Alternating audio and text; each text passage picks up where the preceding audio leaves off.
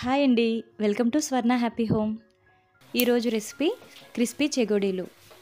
ఈ చెగోడీలు చేయడం కోసం ముందుగా రెండు టేబుల్ స్పూన్ల వరకు చాయ్ పెసరపప్పు తీసుకొని శుభ్రంగా కడిగి ఒక అరగంట పాటు నానబెట్టుకోవాలి. తరువాత స్టవ్ ఆన్ చేసి ప్యాన్ పెట్టుకొని రెండు కప్పుల నీళ్ళు వేసి ఇలా మరగడం స్టార్ట్ అయినాక దీనిలో రెండు టేబుల్ స్పూన్ల వరకు వంట నూనె మనం నానబెట్టుంచుకున్న పెసరపప్పు అర టేబుల్ స్పూన్ ఉప్పు ఒక టీ స్పూన్ వరకు కారం ఒక టీ స్పూన్ జీలకర్ర అర టీ స్పూన్ పసుపు ఒక టేబుల్ స్పూన్ నువ్వులు వేసి బాగా కలుపుకోవాలి. తర్వాత దీనిలో రెండు కప్పుల వరకు బియ్యం పిండి తీసుకొని మెల్లగా కలుపుకోవాలి.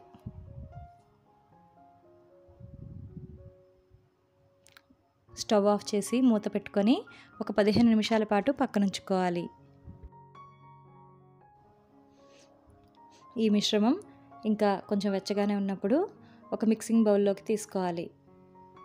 చేతిని చల్లటి నీళ్ళల్లో తడుపుకుంటూ క్లిప్లో చూపించినట్లుగా పిండిని మెదుపుకోవాలి. చపాతీ ముద్దలాగా సాఫ్ట్గా అయ్యేంత వరకు మనం ఈ పిండిని కలుపుకోవాలి. తర్వాత దీనిపై ఒక తడి క్లోత్ని ఉంచి పక్కనుంచుకోవాలి.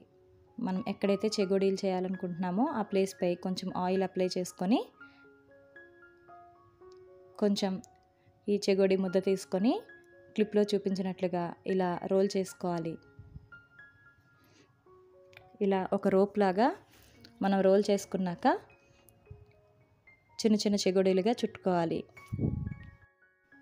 ఇదే విధంగా ఒక వాయికి సరిపడా చెగుడీలు చుట్టుకోవాలి.